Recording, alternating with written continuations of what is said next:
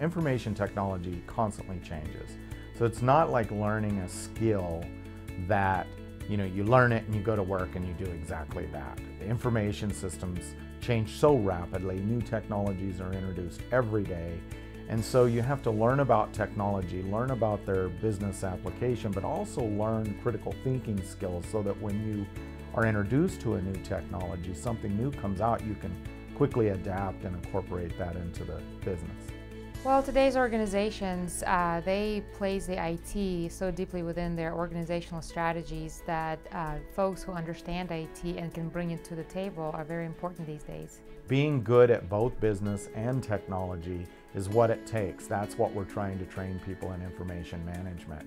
You know, computer science, you can learn about computers, you can be more technical. In business, you can learn about business skills, but you have to understand how do we apply technology to solve business problems. The program is actually very well designed. It covers anything from database management, data communications, um, Visual Basic, which is part of the software concepts programming course, Java programming, which is just about everywhere these days.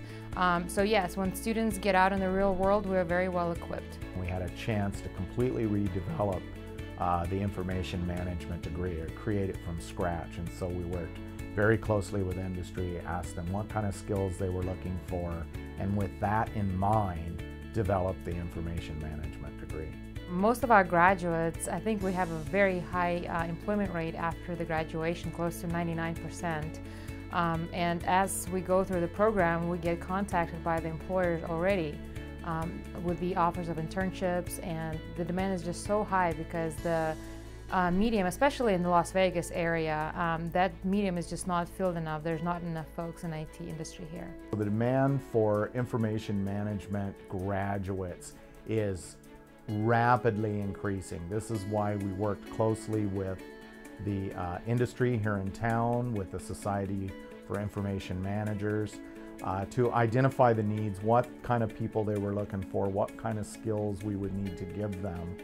As part of my job here at UNLV, as well as a student member of SIM Las Vegas, um, I administer the internship program. And just by doing that, I can see the demand for the IT uh, graduates from the IM programs here.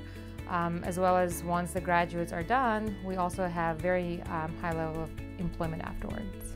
If you're interested in technology, um, it's something that you like to work with, you have a desire to learn, you like the process of critical thinking, you like working with people.